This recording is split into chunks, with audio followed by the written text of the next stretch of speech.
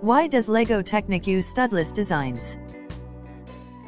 In the past, back in the 1970s and 80s, LEGO used studded beams to make the framework for the Technic sets.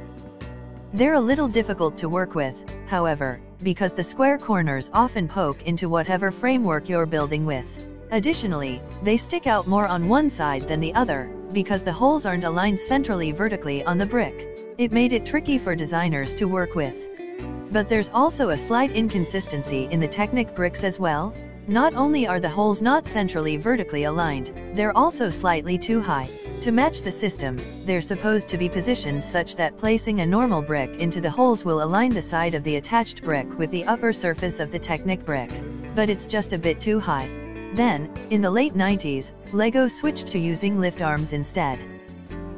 These don't have the annoying studs and brick corners on them plus they're nice and square, making them a lot easier to work with for Technic designers. And there's no more errors in the geometry. Unfortunately, for kids, it's a lot more confusing to work with.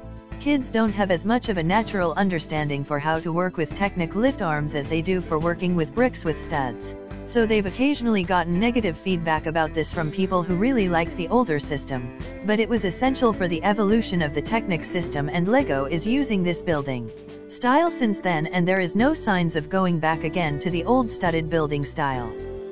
It's been said that studless building is like a game of chess, you need to be thinking several steps ahead all the time.